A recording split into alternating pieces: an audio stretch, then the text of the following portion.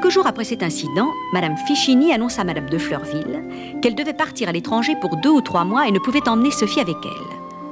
Madame de Fleurville accepta avec plaisir de la garder et Sophie s'installa chez ses petites amies.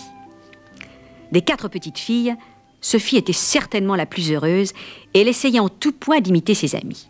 Oh, bien sûr, elle commit encore quelques sottises. Tu sais, Elisabeth, combien elle était gourmande et l'on ne se défait pas si vite d'un tel défaut. Un jour, après déjeuner, Madame de Fleurville réunit les quatre petites filles. Prenez chacune un panier, nous allons cueillir des fruits pour faire des confitures. Oh, quelle, bonne idée Elle s'égayèrent dans le verger, pensant aux délicieuses confitures. Les groseilliers étaient couverts de fruits rouges. Plus loin, les fraises et les framboises étaient si tentantes que Sophie ne put résister à l'envie d'en manger.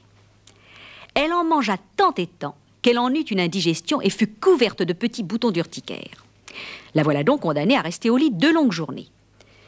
Camille, Madeleine et Marguerite, conviées à une fête champêtre, y allèrent sans elle et elles s'y amusèrent beaucoup.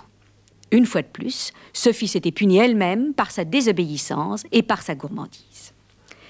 À quelque temps de là, à la suite d'une discussion, elle entra dans une si grande colère qu'elle gifla violemment Marguerite. Oh, elle s'en repentit aussitôt, mais pour éviter qu'un tel incident ne se renouvelle, Madame de Fleurville, à contre-coeur, dut la punir. Elle lui ordonna de rester trois jours dans sa chambre sans voir ses petites amies. Pauvre Sophie. Le chemin de la sagesse lui semblait si difficile. Elle avait beau prendre d'excellentes résolutions, elle les oubliait à la moindre occasion. Mais voici sa dernière sottise.